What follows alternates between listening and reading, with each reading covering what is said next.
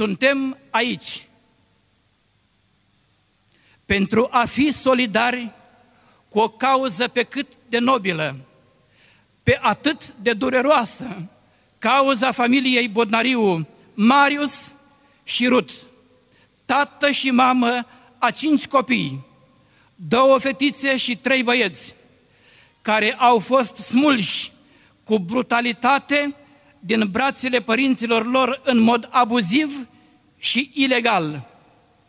Ilegal chiar din punctul de vedere al legislației norvegiene. Cinci copii cu vârste cuprinse între trei luni și 9 ani la data săvârșirii acestui abuz sunt astăzi departe de părinții lor și departe unii de alții, pentru simplul motiv că una din fete a cântat la școală cântarea Mărețul Har și pentru că și-a permis să afirme, așa cum a învățat-o bunica ei și mămica ei, că Dumnezeu pedepsește păcatul. De asemenea, suntem aici solidari cu celelalte familii, cu familia Nan, familia Rădulescu, familia Avramescu și alte familii care trec prin situații asemănătoare cu familia Bodnariu. Clujenii și-au exprimat pentru a doua oară solidaritatea cu familiile de români din Norvegia care au suferit abuzuri din partea agenției Barnevernet. Acțiunea a fost inițiată de Comunitatea Penticostală de Cluj în colaborare cu Comunitatea Baptistă de Cluj. S-au alăturat însă prompt și celelalte culte creștine din Cluj-Napoca, aducând clarificări, argumente și îndemnuri adresate în primul rând credincioșilor creștini, dar și autorităților norvegiene și române, precum și societății civile. Să fim bine înțeleși, nu suntem aici pentru a face apologia bătăii, a pedepsei corporale, dar nici nu trebuie să uităm cele scrise în Cartea Proverbelor lui Solomon, capitolul 29 cu 15, vizând libertatea absolută a copilului. Copilul lăsat de capul lui, face rușine mamei sale. Noi suntem aici pentru a spune adevărul și în conformitate cu adevărul. Noi credem și afirmăm că locul copiilor este în familia în care s-au născut. Dacă în mod excepțional o familie trece prin situații de criză ce nu se pot nici cum soluționa, conflicte, sărăcie, violență, dependență de alcool, droguri, abuzuri și altele ca acestea, ce constituie un real pericol pentru un minor, atunci statul trebuie să intervină prin organele de resort pentru interesul copilului. În cazul familiei Bodnariu, nici nu poate fi vorba de așa ceva. În cazul familiei Bodnariu, toate aceste argumente sunt ineficiente și neadevărate. Noi nu-i urâm pe norvegieni. Nu, Ruth Bodnariu este norvegiancă, este sora noastră în Hristos, născută într-o familie cu o veche și bogată tradiție în credință, cu principii solide și sănătoase. Ruth a venit în România anilor 90 pentru a lucra cu copiii străzii în București. Acolo l-a cunoscut pe Marius, cu care s-a căsătorit a devenit soție și mamă, a născut cinci copii. Vrem să ni se audă glasul, vrem ca acești copii să fie lângă părinții lor, acolo unde este locul. Acesta este interesul lor superior pe care îl au de la Dumnezeu. Vă iubim, Marius și Rut, și vă iubim pe voi, familii, care sunteți în aceeași situație cu ei, familia Nan, Avramescu, Rădulescu și altele. Vă iubim, dragi și scumpi copilași, pe care vă privim aici în toate aceste fotografii. Te iubim, popor norvegian. Vă iubim, agenți ai Barnevernetului. Vă iubim chiar dacă ne-ați îndurerat și ne-ați înlăcrimat pe atâția dintre noi. Vă iubim și pentru că vă iubim, credincioși adevărului în dragoste, trebuie să vă spunem că e urât ceea ce faceți. E îngrozitor, e o crimă. Trăim un timp în care se încearcă normalizarea, dacă nu instituționalizarea anormalului. Nu putem să acceptăm asta. Iar această normalizare a anormalului să fie definită eufemistic valori europene. Valori europene fără Dumnezeu, fără credință, fără Evanghelie, fără Isus, fără Sfințenie. Nu putem accepta o astfel de lume, indiferent de confesiune. Dragii mei, vreau să vă spun tuturor, cine crede astăzi, sau cine mai crede astăzi că lupta este pentru identitate confesională, se înșală. Astăzi lupta este pentru identitate creștină.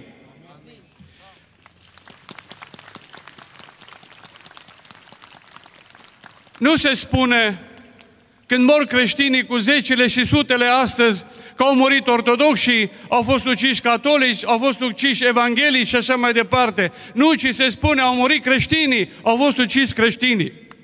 Nu mai există astăzi luptă pentru identitate confesională, ci pentru identitate creștină, de aceea trebuie toți să strângem rândurile. Toți să fim misionarii și mesagerii Evangheliei lui Isus. Să știți un lucru toți. N-am făcut nimic dacă ne-am adunat numai aici astăzi. Nimic.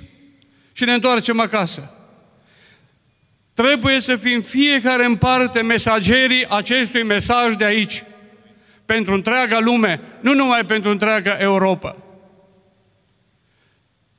Distrugerea familiei creștine însemnează distrugerea societății în care trăim, pentru că este destrusă baza ei, celula de bază a societății. Și pe noi, pe părinți, s-ar putea să ne întrebe mâine copiii noștri, nepoții noștri, ce istorie ați scris, dragi părinți și bunici? Ce ne-ați lăsat în urmă? Cum a scris istoria societății în care noi trăim? Poate nu vom mai fi mâine, dar vor fi cei care vor veni după noi și suntem responsabili de viitorul lor. Nu și-au împrumutat moșe și strămoșii noștri copiii azilelor de protecție, în care să fie crescuți marionete pentru societatea viitoare. Nu ce au stat copiii acolo în familia lor, în casa lor, așa cum a fost greu așa cum a fost ușor, așa cum a fost trist sau cu bucurie.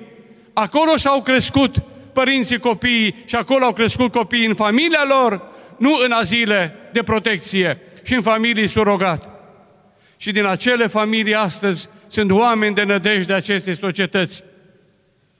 De acolo s-au născut caractere pe care poate această societate încă mai trăiește.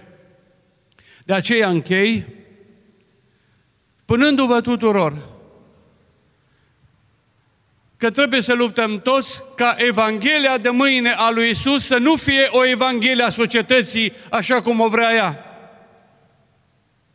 Fără ideea că pentru păcat vom, vom da seamă. Acest lucru se încearcă a fi scos din Evanghelie. Se încearcă să se scoate ideea de judecată universală a responsabilității faptelor noastre. De ce ne înspăimântați voi creștinii cu astfel de Evanghelie? Nu avem nevoie de ea.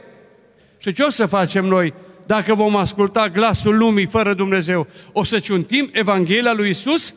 Și mâine vom avea alte Evanghelie pentru societate și alte Evanghelie pentru creștinii din biserici? Nu avem voie să facem asta. De aceea, acum, de aici, toți misionari în lume. Misionari în lume pentru apărarea vieții. Misionari în lume pentru apărarea familiei creștine. Misionari în lume pentru apărarea valorilor spirituale ale acestei umanități. Și misionari în lume pentru apărarea Evangheliei lui Isus. Atunci avem un rost pe acest pământ. Vă mulțumesc!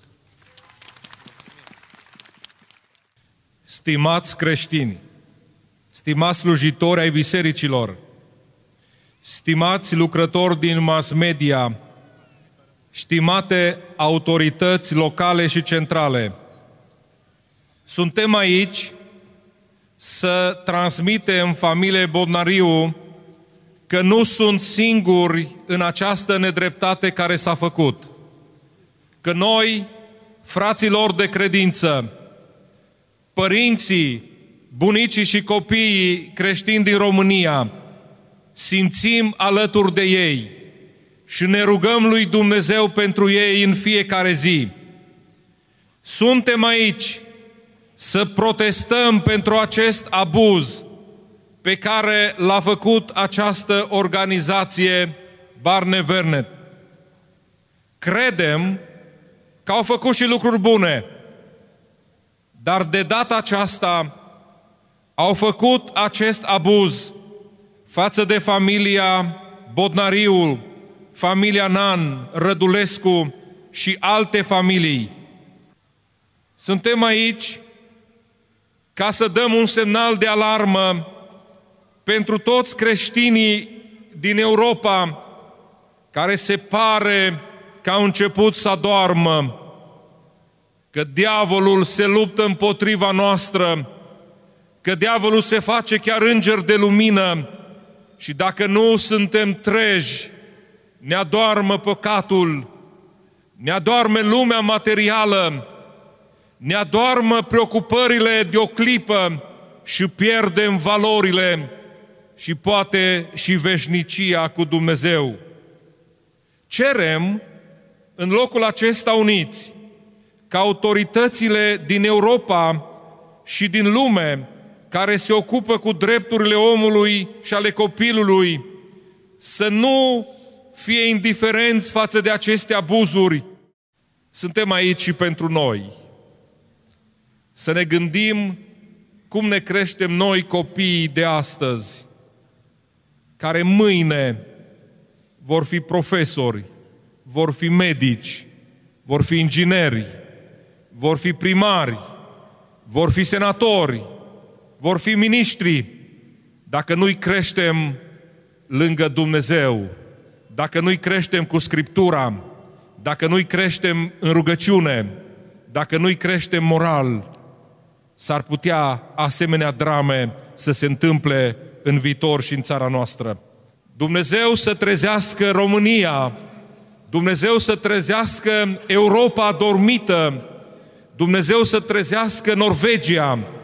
Trăim aceste vremuri în care Dumnezeu ne-a adunat în evenimente ca acestea să ne gândim la starea noastră, la sufletul nostru, la chemarea noastră și la lucrarea pe care trebuie să o facem în generația noastră. A lui Dumnezeu să fie slava și gloria. Va trebui să rămânem alături de această familie, să alături unui de alții și să rămânem treji, așa cum s-a mai spus ceva mai devreme aici. Să rămânem treji în credința noastră. Când am auzit că motivul de la care a început persecuția acestei familii a fost de la o cântare religioasă, am zis să dea Domnul să avem în România numai familii care să se facă vrednice de o astfel de persecuție.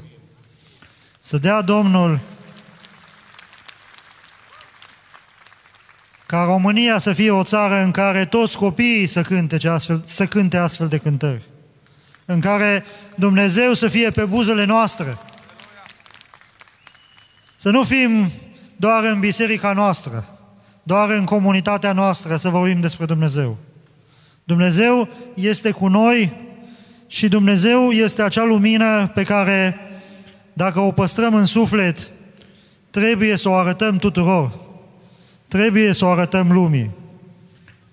Familia Bodnariu a făcut asta și pentru, și pentru că a făcut asta, acum sunt persecutați.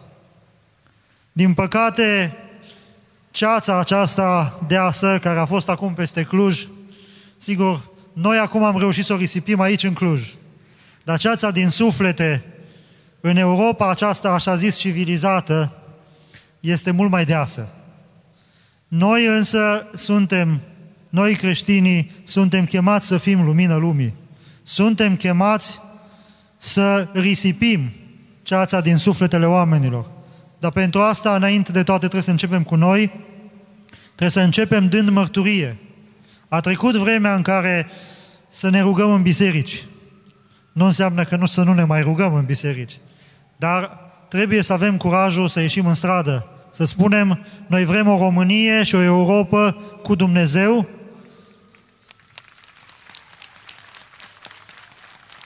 Noi vrem o Românie și o Europa în care familia să-și poată crește copiii în credință. Nu vrem experimente sociale.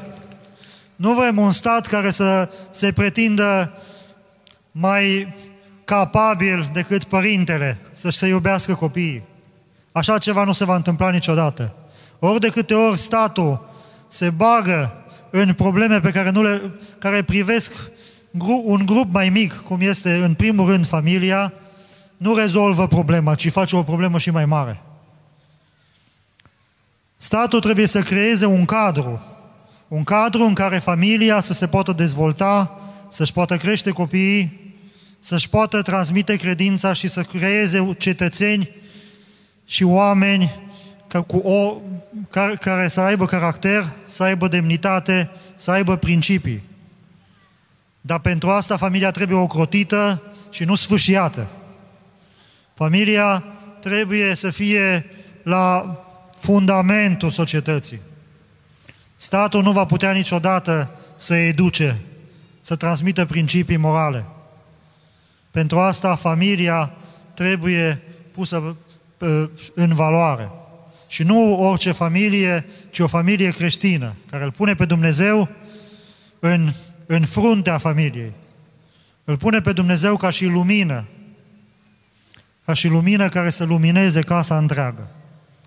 Noi suntem chemați să rămânem treji și să ne apărăm valoare, valorile noastre, să ne apărăm credința, să apărăm dreptul nostru de a-L lăuda și de a-L preamări pe Dumnezeu în casele noastre, în comunitățile noastre și oriunde ne-am afla, în școli, la serviciu, unde suntem, noi trebuie să dăm mărturie că Dumnezeu este cu noi, că Dumnezeu este viu, că Dumnezeu este puternic și că noi suntem mai lui Dumnezeu. Lui să-i fie slava în veci. Amin. O declarație de solidaritate cu familia Botnariu și cu celelalte familii române din Norvegia aflate în situații similare a fost citită în mitingul de la Cluj. Aspecte esențiale ale acestei declarații punctează pentru noi pastorul Marin Pintilie din partea organizatorilor. N-am vrut să fie un discurs uh, uh, jignitor, dar am vrut să fie unul incisiv cât se poate de bine articulat uh, pe măsura durerii pe care o trăiesc uh, în mod real, pe care o am în uh, inimă. Nu cunosc personal familia Bodnariu, nici ei nu mă cunosc pe mine, dar m-am pus în situația lor și cred că oricine care se pune în situația unei astfel de familii nu poate avea un altfel de mesaj. Mă deranjează, mă doare impasibilul, mă doare uh, reticența sau suspiciunea sau uh, tărăgăneala. Biblia mă învață să mă bucur cu cel care se bucură și să plâng cu cel care uh, plânge și efectiv drama acestei familii mi-a creat uh, insomnii. Sunt primele insomnii din viața unui om de 60 de ani. Uh, primele insomnii pe care le-am, punându-mă în postura acelui tată și mai ales a acelei mame care și-a văzut pruncușorul de, de trei luni. Îmi dau lacrimile când mă gândesc la asta, să vezi pruncușorul de trei luni smuls cu brutalitate și în mod ilegal. Și atunci, noi ca frați și surori în credință, uh, autoritățile statului, președintele României sunt chemați să fie o voce clară, cu un mesaj bine articulat. Această atitudine a autorităților norvegiene trebuie criticată, frumos și civilizat, dar trebuie spus adevărul, pentru că adevărul, chiar dacă doare, el trebuie fost spus frumos și civilizat și uh, aceste autorități trebuie determinate. În primul rând, prin puterea lui Dumnezeu și apoi prin demersul oamenilor, trebuie determinate să schimbe abordarea și în cazul familiei Bodnariu și în cazul altei familii, așa cum am spus în declarația noastră de solidaritate. Declarația a cuprins câteva puncte foarte clare Uh, prin care fie solicitați acțiune din partea autorităților, fie punctați niște realități uh, pe care le considerați extrem de grave. Ne puteți uh, am, spune Rezuma. acum câteva puncte?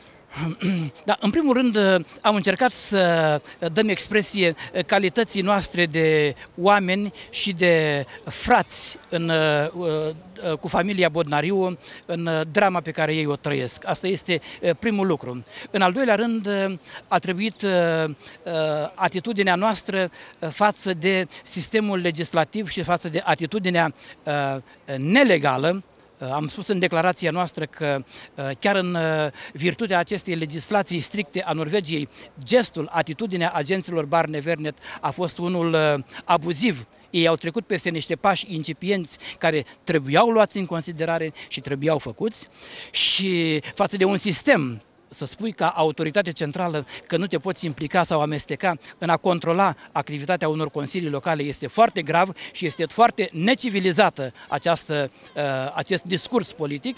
Și în al treilea rând am vrut să avem un mesaj către președinție, către guvern în a se implica Um, în a se exprima cât mai vocal și cât mai clar în favoarea acestei familii. Este datoria dumnealor, a noastră și a lor împreună și uh, cred că ne vom face auziți. Grație uh, mass mediei care ne-a susținut și care va face ca ecoul acestei dureri pe care o avem în inimă să ajungă cât mai departe. Vorbind despre legislație, ați făcut o comparație destul de impresionantă, amintind de faptul că și pe vremea Germaniei hitleriste, în numele unei legislații care funcționa, s-au comis uh, crime oribile. Da, am amintit cazul uh, Holocaustului pentru că uh, am, uh, acum, acum trei zile în urmă, pe 27 ianuarie, am uh, comemorat victimele Holocaustului și toate acele cuptoare care ardeau și decimau vieți omenești funcționau în mod absolut legal. Așa cum am spus, uh, um, în uh, nordul Siberiei mureau alte zeci de milioane de oameni și ei mureau tot în virtutea unei legislații stricte și România a avut relații excelente, că este sintagma declarației noastre guvernamentale, că România are relații excelente cu Norvegia și am folosit această sintagmă amintind că România avea relații excelente și cu Germania anilor 40 și cu Uniunea Sovietică a anilor 40, 50 și așa mai departe. Uh, o anumită uh, legislație nu trebuie să devină paravan pentru a se comite atrocități. Și nu întotdeauna exprimă niște valori uh, care sunt Categoric. chiar pozitive. Categoric. Dacă o lege nu urmărește binele uh, omului, uh, a familiei, a copilului în uh, sensul, în, în mod concret, atunci legislația aceea trebuie schimbată și până la a fi schimbată, ea trebuie descalificată, ea trebuie criticată, așa cum am spus, frumos și civilizat, în forurile noastre, în forurile europene, în forurile internaționale, trebuie să avem un cuvânt de spus, pentru că deocamdată avem libertatea. Când nu vom mai putea vorbi, atunci Dumnezeu ne va lua apărarea. Dar deocamdată, ca mesageri ai adevărului, trebuie să vorbim în favoarea, scrie în Proverbe, capitolul 31, deschideți gura pentru cel nenorocit. Iar acum familia Bodnariu și celelalte familii se află în această situație și noi trebuie să ne deschidem gura în apărarea lor. Ați pomenit de mesageri. Cum au răspuns mesagerii celorlalte uh, culte creștine din uh, Cluj-Napoca la invitația pe care le-ați adresat-o de a participa aici? Uh, am apreciat răspunsul colegilor de la toate bisericile. Au fost reprezentanți și de la Uh, comunitatea baptistă, au fost reprezentanți și din uh, Biserica Ortodoxă și din Biserica uh, Greco-Catolică, a fost reprezentată Fundația Provita, colegi care au vibrat la această chemare. Se pare că și clujenii au răspuns în numărul pe care l-ați fi dorit? Trebuie să recunosc că aș fi dorit să fie mai mulți am încercat să uh, mediatizăm, am încercat să fim uh, cât se poate de clari în chemarea pe care am uh, lansat-o și mi-aș fi dorit să fie mai mulți, dar slavă Domnului pentru toți cei câți au fost prezenți la manifestația de azi. Și un lucru sau poate câte vreți bune pe care le puteți vedea în povestea asta dureroasă până acum? Uh, acum, în, în fiecare uh, durere există o bucurie pe care ne dă uh, speranța. și un copil când se naște, el se naște cu, e mai întâi durerea și după aceea vine bucuria. Deocamdată suntem în vale, suntem în, împreună împărtășind această dramă, această suferință. Cert este că această suferință ne-a unit, ne-a uh, ajutat să, să plângem împreună, ne-a trezit, ne-a mobilizat și uh, asta s-a spus de la tribuna acestei manifestații.